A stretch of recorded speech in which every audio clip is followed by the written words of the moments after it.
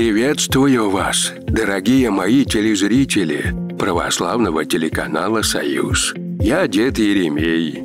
Завтра на календаре 26 мая. Наши бабушки и дедушки в этот день по приметам судили о грядущей погоде.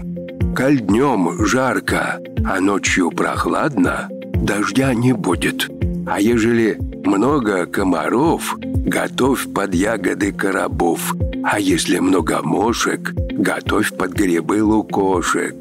Ветер дует весь день, не меняя направления, а к ночи усиливается к утреннему заморозку.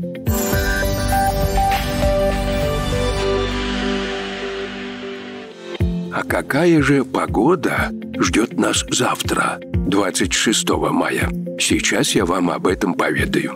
В поселке Грибов Куст Сапожковского района Рязанской области плюс 21. Только вот солнышко ласкать своими лучами жителей не будет. Оно терпеливо спрячется за облаками. В селе Грибоедово Бондарского района Тамбовской области плюс 22. За окном будет ясно и солнечно. Вот красота-то какая!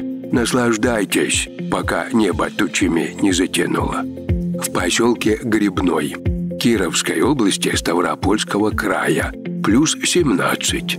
Если куда-то соберетесь идти, зонт вам в помощь, а еще лучше дождевик. В деревне Грибаниха Мышкинского района Ярославской области плюс 19 и дождь.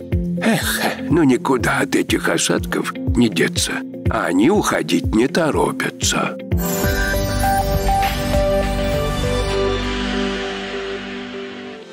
А напоследок хочу пожелать вам, мои дорогие, пусть, несмотря на погоду, в душе вашей всегда светит солнце, а в доме царит теплота и любовь, как заповедал нам Господь.